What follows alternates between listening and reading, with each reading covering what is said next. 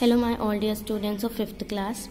In last video we have completed our chapter number 9 and today we are going to start poem Mr. Nobody. अब ये क्या poem है तो अभी हम देखते हैं Let's begin से Children are generally naughty, playful and impish and they learn swiftly to represent others, respect others as they grow up. Playing pranks and practical jokes are sometimes tolerated as long as they are harmless and don't distress others.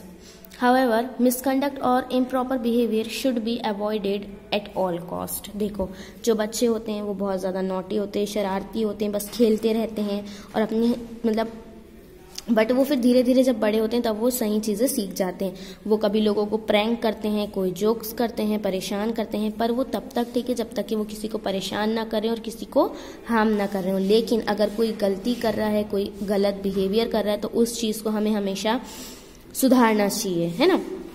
तो have you ever cause trouble by being mischievous did you own up देखो, आप लोगों ने कभी कोई शरारत करे हो जो खराब मतलब जो किसी को प्रॉब्लम कर दी हो, और क्या आपने अपनी गलती माने हो? तो अब ये तो आप ही लोग बता सकते हो। तो हम इस पोयम में पढ़ेंगे कि कैसे एक जो बच्चा है, वो एक इमेजनरी पर्सन उसने यानी वो कर लिया है, सोच लिया है और कहता है कि वही सारी गलतियाँ करते रहता है ना? This is a poem about mischievous child who end up doing everything wrong वो सब गलत काम करता है, सब गलत गलत करता है और फिर एक दूसरे ही पर्सन को ब्लेम करता है। I know a funny little man as quiet as mouse who does the mischiefs that is done in everybody's house. There's no one ever sees his face and yet we all agree that every plate we break was cracked by Mr. Nobody.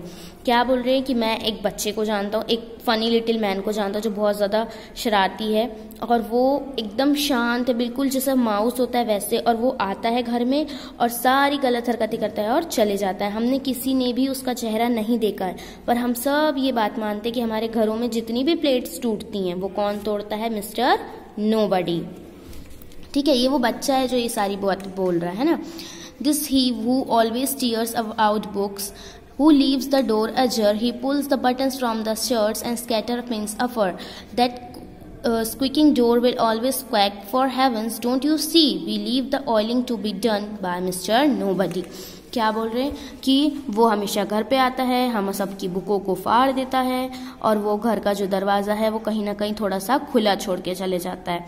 वो जो shirt की बटने हैं उसे तोड़ देता है जितनी भी पिंस हैं उसे इधर उधर फेंक देता है और हमेशा हमेशा दरवाजे क्या करता है बहुत ज़ोर से लगाता है कि हम ऑयलिंग करते हैं तो भी वो वैसे ही होता है। और ये सब फिर से कौन कर रहा है? Mister no He puts damn wood upon the fire. The kettle, uh, kettles cannot boil. His are the feet that bring in mud and all the carpet soil.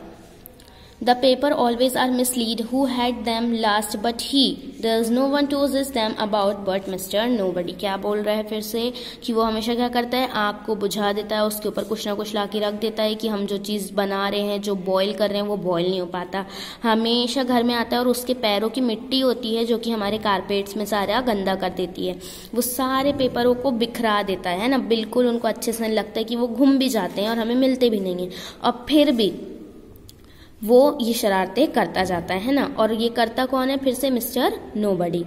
The fingerprints upon the door, but by none of us are made. जो door पे जो fingerprints हैं, वो हमने नहीं करे हैं।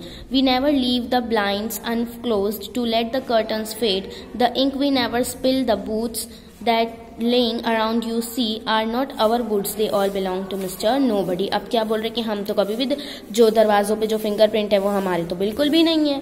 वो तो मिस्टर नो बडी के हैं। और यहाँ जितनी भी यानी खराब हरकतें, जो भी शरारती हो रही, वो हमने तो करी नहीं। हम तो कभी कोई चीज़ खुली नहीं रखते। हम तो सब चीज़ें बंद करते हैं। हम कर्टन्स अच्छे से लगाते हैं। हम कभी इंक को फेंकते नहीं हैं। और जो ये जूते यहाँ पड़े हुए नीचे, वो हमारे तो बिल्कुल भी नहीं है। ये तो मिस्टर नो बडी के हैं। माने जितनी शरारतें हो रही है, वो सब कौन कर रहे हैं? मिस्टर बडी जबकि ये सब हरकतें करने वाला एक चाइल्ड है, बच्चा, जो ये सारी हरकतें करता है और ब्लेम किस पे डालता है मिस्टर नो बडी पे, जो कि कोई है ही नहीं, उसने एक इमेजनरी पर्सन बोल दिया है और लोगों को वो यही बताता है। तो ऐसी शरारतें जो है वो करता रहता है, ठीक है? और इस पोएम में हमने यही पढ़े कि एक बच्चा है जो बहुत ज़्यादा शरारती है। अब इसकी एक्सरसाइज देखेंगे हम। आपका फ़र्स्ट है फिल इन द ब्लैंक्स जो भर दिए हु। डज द मिसचीव्स दैट इज़ डन देखो, यहाँ आपकी क्या है? पोएम की लाइंस थी जिसे हमें कंप्लीट करना था। तो ये तो यहाँ से हमने करेक्ट वर्ड जो है पोएम से देकर फिल कर लेंगे। नेक्स्ट है आपका लेट्स राइट जो कि है क्वेश्चन आंसर्स तो क्वेश्चन आंसर्स हम अभी देखते हैं। फ़र्स्ट क्वेश्चन आपका क्या है? Write the rhyming word words from the poem find a simile in the poem हमें रेमिंग वर्ड लिखना है और एक सिमिली बताना है। तो आंसर देखेंगे। Rhyming words are rhyming word है mouse and house ajar and afar boil and soil made and fade, ठीक है? और सिमिली है एज क्वाइट एज माउस ठीक है? नेक्स्ट क्वेश्चन है आपका which word describe the mess in the house कौन से वर्ड बता रहे घर में पूरा उथल पुथल हो चुका है तो words scatter soil mislead unclose and spill describe the mess in the house ये सारे जो वर्ड्स हैं, ये डिस्क्राइब करेंगे घर पूरा तहस नहस है। फिर क्या बोल रहा है? Third question what happen to the buttons of the shirt shirt की बटनों क्या हुआ था? मिस्टर नोबडी ने उसे तोड़ दिया था, है ना? तो mister nobody pulls them out from the shirt fourth line है what do these lines the boots that lying around tell you about mister nobody ये जो लाइन है the boot that lying around वाली जो लाइन है, ये आपको mister nobody के बारे में क्या बताती है? तो the line tells us that mister nobody is very casual about keeping his things at place his boots are lying around instead of being in the shoe rack क्या बोला कि मिस्टर नोबडी जो है, वो अपना सामान किधर भी फेंक देते हैं? एकदम कैसे भी रखते हैं और उनके जो ये जूते नीचे पड़े हुए हैं, वो नीचे पड़े हैं, जबकि उन्हें रहना कहाँ चाहिए? अपने शू रैक में रहना चाहिए, है ना? तो फोर्थ क्वेश्चन फिफ्थ आपका होमवर्क है, देखते हैं क्या है।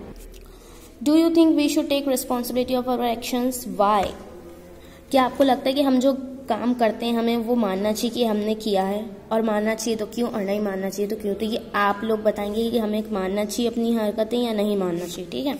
अब आते हैं आपकी नेक्स्ट उस पर जो है ओनोमेटॉफी वर्ड अब ये वर्ड्स क्या होते हैं? Beep buzz flutter yawn do these words imitate the natural sound of thing आपको पता है ये वर्ड्स जो हैं वो किसी नेचुरल चीज़ का साउंड बताती हैं. When a word imitate the natural sound of things onomatopoeia occur जब हम कोई ऐसा वर्ड देखते हैं जो कि किसी नेचुरल चीज़ का साउंड बताती है ना तो वो होते हैं ओनोमेटोफी वर्ड जैसे flutter of wings of a bird fluttering is an action fluttering एक एक्शन होता है but word flutter also denote a sound that matches the very name of word flutter flutter जो फ्लैटरिंग है, वो एक action होता है ना? लेकिन जो फ्लटर वर्ड है, वो डिस्क्राइब करता है एक साउंड को भी okay use of onomatopoeic word make story और poem interesting for the reader जो ऐसे ओनोमेटोफिक वर्ड्स का जब हम यूज़ करते हैं ना तो ये वर्ड जो है, वो पढ़ने वाले को और ज़्यादा इंटरेस्ट जगा देते हैं ना? Saying the buzzing bee flew away is more simple than saying the bee flew away देखो बस बस करते यानी बी की आवाज़ आती है ना ऐसे करके आती है, आवाज़ बी की। तो ऐसे वाले जो वर्ड्स होते हैं, ये हमें काफ़ी मतलब फन तरीके से पढ़ने में हेल्प करते हैं। अगर हम ये बोलेंगे कि हाँ बी उड़ रही है तो वो मज़ा नहीं आएगा, है ना? तो जो वर्ड बजिंग है, वो और ज़्यादा डिटेल बता दे रही है एक सिंपल सेंटेंस का। तो ओनोमोटोफिक जो होता है ओनोमोटोफिया क्या होता है? साउंड होता है वर्ड ओनोमोटोफिया साउंड होता है, जो कि हम वर्ड से मिलता है, जो कि नेचुरली कुछ चीज़ों का साउंड होता है। जैसे कि हम बोलें जैसे पानी जो है वो गिरता है है ना? तो जैसे टैप में से जो पानी, नल से जो पानी गिरता है तो वो कैसे गिरता है? ड्रिप ड्रॉप करके गिरता है वो, है ना? हमें आवाज़ आती है ना डिप डिप डिप वो वाले जो साउंड होते हैं, वो होते हैं ओनोमोटोफिया ठीक है? अब यहाँ हम देखते हैं कि यहाँ पे कुछ ओनोमेटिफिया वर्ड्स दिए जो कि एनिमल्स के हैं, जैसे baa the cry of a ship और लैम ये जो आवाज़ आती है, जब से कोई शिप बोलती तब आती म्याऊ. ये तो हमें सबको पता है कैट की है. Moo sound of cattle bark हमेशा डॉग बार्क करता है. Neigh whinnying sound made by horse horse की साउंड है ये वाली, ठीक है? ऐसे ही यहाँ और भी वर्ड्स दिए हैं जो कि हमें बता रहे हैं, जैसे क्लैंग किसी भी मेटेलिक चीज़ का साउंड होता है ये, है ना?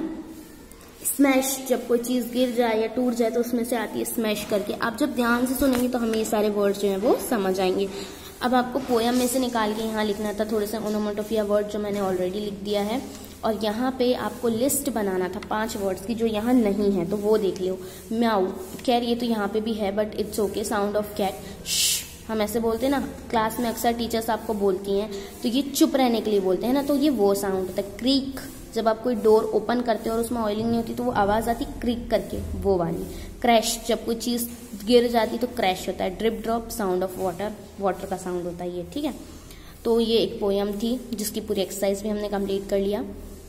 ये आप लोग जो लेट टू है, वो अपनी कॉपी में करेंगे और बाकी जो ये एक्सरसाइज है, ये आप सिर्फ़ अपनी बुक में फिल करेंगे, ठीक है? और इसके आगे हम न्यू लेसन न्यू वीडियो से स्टार्ट करेंगे till then bye of you and take care and I hope you enjoy this poem